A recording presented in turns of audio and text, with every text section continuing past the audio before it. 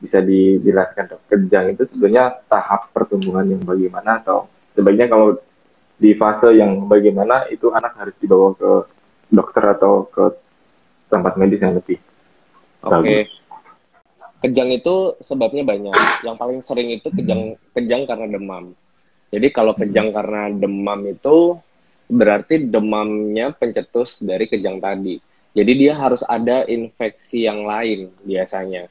Infeksinya itu uh, bisa dari telinga, bisa dari saluran pernafasan, bisa gigi, bisa diare, ataupun muntah-muntah. Banyak penyebabnya. Itu kita bisa nama, namakan kejang demam.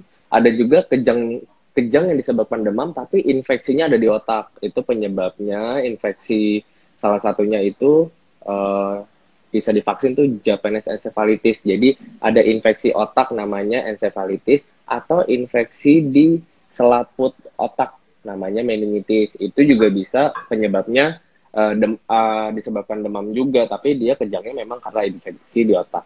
Ada juga infeksi, eh sorry, ada juga kejang yang memang penyebabnya ini nggak ada demam. Nah, kalau kayak gini biasanya uh, kita sebutnya epilepsi.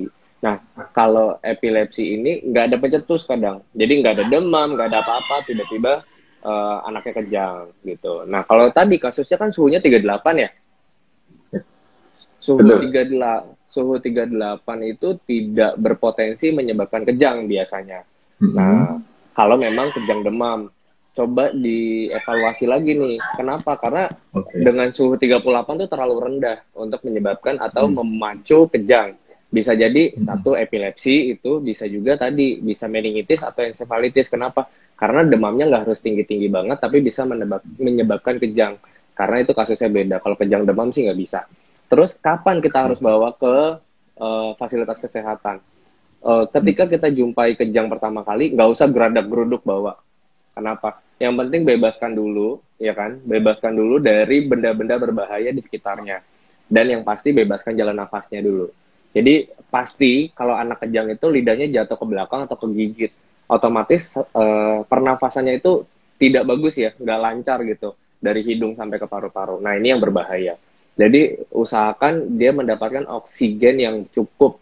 Dengan cara ya biasanya kepalanya itu kita apa namanya ya?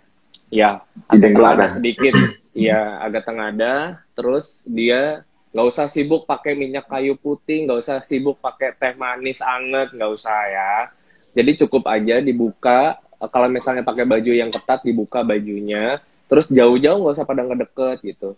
Cukup satu atau dua orang yang jagain sambil telepon fasilitas kesehatannya kita mau bawa ke sana. Jadi nggak usah geradak geruduk gitu. Terus kalau bisa sih di rumah ada obat kejang sama obat penurun panas itu.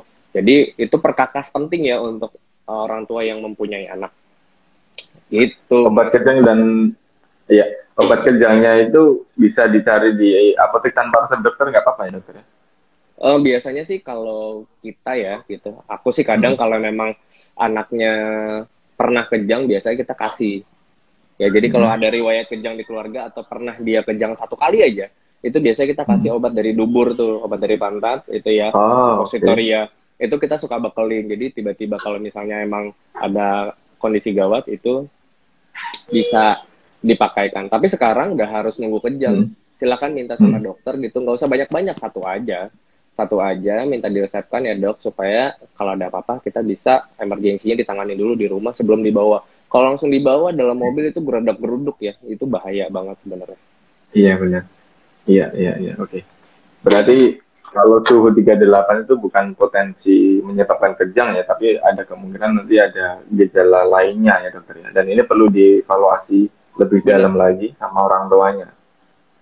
Syaratnya, tapi untuk untuk pendidikannya lebih baik memang disiapkan untuk obat kejang sama ditambah penurunan panas, boleh.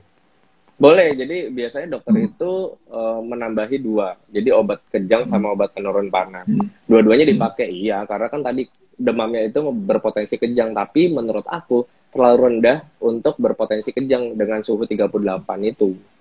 Oke. Okay. Jadi okay, mungkin ada bukan, infeksi, infeksi di otak bukan di, mungkin. Bukan di panasnya berarti kan?